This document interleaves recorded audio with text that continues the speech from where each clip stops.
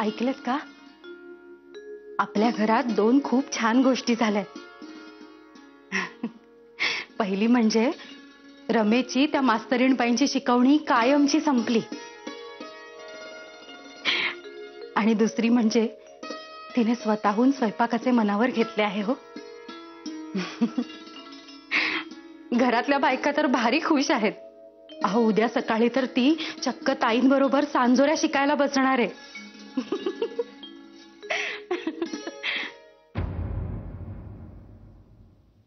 ईश्य, हे काय? आज काही नवीन काढले आहे का इकडे? नाही म्हणजे मौन व्रत धरले की काय? अहो, बोलावे काहीतरी. मी आपली एकटीच बोलते आहे. कुणी पाहिले ना तर म्हणेल की या बाईस फार वेळ लागले आहे. केव्हाची एकटीच बडबडते आहे. अहो, बोला ना. काय झाले? अहो.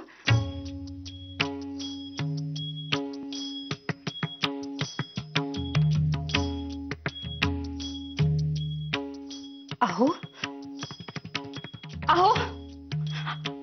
मी काय म्हणते अहो अहो अहो अहो काहीतरी बोला ना। अहो काय झाले?